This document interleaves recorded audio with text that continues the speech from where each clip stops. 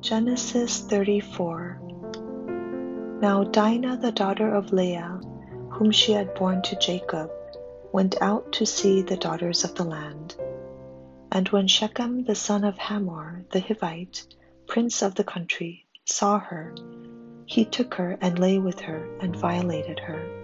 His soul was strongly attracted to Dinah, the daughter of Jacob, and he loved the young woman and spoke kindly to the young woman. So Shechem spoke to his father Hamor, saying, Get me this young woman as a wife.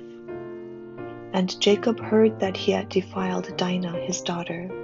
Now his sons were with his livestock in the field, so Jacob held his peace until they came. Then Hamor, the father of Shechem, went out to Jacob to speak with him. And the sons of Jacob came in from the field when they heard it. And the men were grieved and very angry, because he had done a disgraceful thing in Israel by lying with Jacob's daughter, a thing which ought not to be done. But Hamor spoke with them, saying, The soul of my son Shechem longs for your daughter. Please give her to him as a wife, and make marriages with us. Give your daughters to us, and take our daughters to yourselves. So you shall dwell with us, and the land shall be before you. Dwell and trade in it, and acquire possessions for yourselves in it. Then Shechem said to her father and her brothers, Let me find favor in your eyes, and whatever you say to me, I will give. Ask me ever so much dowry and gift, and I will give according to what you say to me, but give me the young woman as a wife. But the sons of Jacob answered Shechem and Hamor his father, and spoke deceitfully, because he had defiled Dinah their sister. And they said to them, We cannot do this thing, to give our sister to one who is uncircumcised, for that would be a reproach to us. But on this condition we will consent to you, if you will become as we are. If every male of you is circumcised, then we will give our daughters to you, and we will take your daughters to us, and we will dwell with you, and we will become one people. But if you will not heed us and be circumcised, then we will take our daughter and be gone. And their words pleased Hamor and Shechem, Hamor's son. So the young man did not delay to do the thing, because he delighted in Jacob's daughter. He was more honorable than all the household of his father.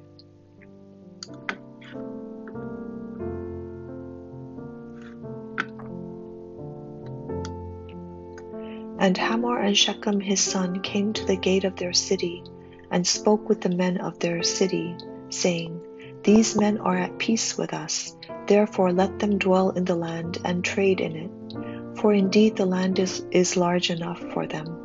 Let us take their daughters to us as wives, and let us give them our daughters.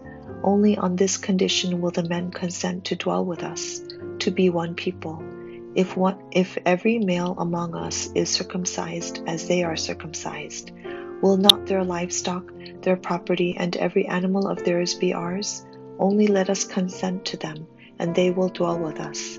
And all who went out of the gate of his city heeded Hamor and Shechem, his son. Every male was circumcised, all who went out of the gate of his city.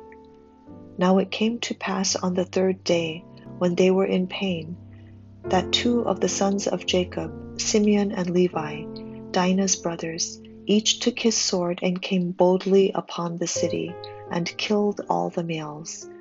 And they killed Hamor and Shechem his son with the edge of the sword, and took Dinah from Shechem's house, and went out. The sons of Jacob came upon the slain and plundered the city, because their sister had been defiled. They took their sheep, their oxen, and their donkeys, what was in the city and what was in the field, and all their wealth. All their little ones and their wives they took captive, and they plundered even all that was in the houses.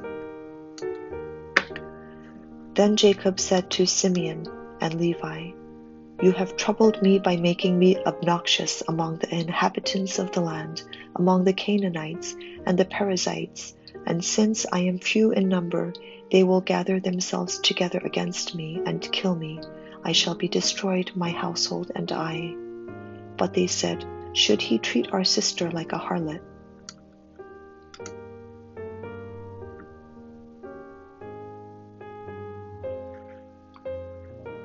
창세기 34장. 레아가 야곱에게 낳은 딸 디나가 그 땅의 딸들을 보러 나갔더니 히위 족속 중 하몰의 아들 그 땅의 추장 세겜이 그를 보고 끌어들여 강간하여 욕되게 하고 그 마음이 깊이 야곱의 딸 디나에게 연연하며 그 소녀를 사랑하여 그의 마음을 말로 위로하고 그의 아버지 하몰에게 청하여 이르되 이 소녀를 내 아내로 얻게 하여 주소서 하였더라.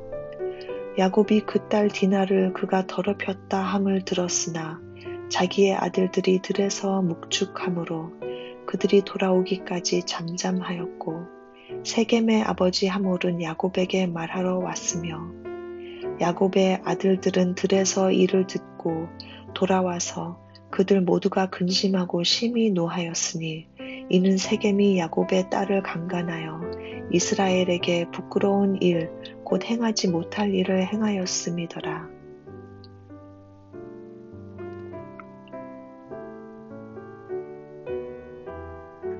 하몰이 그들에게 이르되 내 아들 세겜이 마음으로 너희 딸을 연연하여 하니 원하건대 그를 세겜에게 주어 아내로 삼게 하라.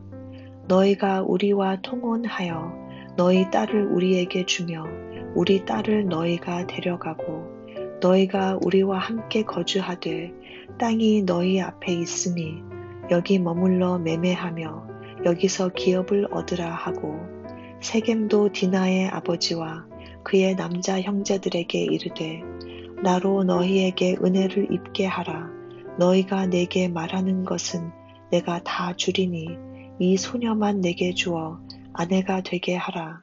아무리 큰 혼수와 예물을 청할지라도 너희가 내게 말한 대로 주리라. 야곱의 아들들이 세겜과 그의 아버지 하몰에게 속여 대답하였으니 이는 세겜이 그 누이 디나를 더럽, 더럽혔음이라. 야곱이 야곱의 아들들이 그들에게 말하되 우리는 그러하지 못하겠노라. 할례 받지 아니한 사람에게 우리 누이를 줄 수 없노니 이는 우리의 수치가 됨이니라. 그런즉 이같이 하면 너희에게 허락하리라. 만일 너희 중 남자가 다 할례를 받고 우리 같이 되면 우리 딸을 너희에게 주며 너희 딸을 우리가 데려오며 너희와 함께 거주하여 한 민족이 되려니와 너희가 만일 우리 말을 듣지 아니하고 할례를 받지 아니하면 우리는 곧 우리 딸을 데리고 가리라. 그들의 말을 하몰과 그의 아들 세겜이 좋게 여김으로 이 소년이 그 일 행하기를 지체하지 아니하였으니 그가 야곱의 딸을 사랑함이며 그는 그의 아버지 집에서 가장 존귀하였더라. 하몰과 그의 아들 세겜이 그들의 성읍 문에 이르러 그들의 성읍 사람들에게 말하여 이르되 이 사람들은 우리와 친목하고 이 땅은 넓어 그들을 용납할 만하니 그들이 여기서 거주하며 매매하게 하고 우리가 그들의 딸들을 아내로 데려오고 우리 딸들도 그들에게 주자. 그러나 우리 중에 모든 남자가 그들이 할례를 받음 같이 할례를 받아야 그 사람들이 우리와 함께 거주하여 한 민족 되기를 허락할 것이라. 그러면 그들의 가축과 재산과 그들의 모든 짐승이 우리의 소유가 되지 않겠느냐. 다만 그들의 말대로 하자. 그러면 그들이 우리와 함께 거주하리라. 성문으로 출입하는 모든 자가 하몰과 그의 아들 세겜의 말을 듣고 성문으로 출입하는 그 모든 남자가 할례를 받으니라. 제 3일에 아직 그들이 아파할 때에 야곱의 두 아들 디나의 오라버니 시므온과 레위가 각기 칼을 가지고 가서 몰래 그 성읍을 기습하여 그 모든 남자를 죽이고 칼로 하몰과 그의 아들 세겜을 죽이고 디나를 세겜의 집에서 데려오고 야곱의 여러 아들이 그 시체 있는 성읍으로 가서 노력하였으니 이는 그들이 그들의 누이를 더럽힌 까닭이라. 그들이 양과 소와 나귀와 그 성읍에 있는 것과 들에 있는 것과 그들의 모든 재물을 빼앗으며 그들의 자녀와 그들의 아내들을 사로잡고 집 속의 물건을 다 노략한지라. 야곱이 시므온과 레위에게 이르되 너희가 내게 화를 끼쳐 나로 하여금 이 땅의 주민 곧 가나안 족속과 브리스 족속에게 악취를 내게 하는 하였도다. 나는 수가 적은즉 그들이 모여 나를 치고 나를 죽이리니 그러면 나와 내 집이 멸망하리라. 그들이 이르되 그가 우리 누이를 창녀같이 대우함이 옳으니까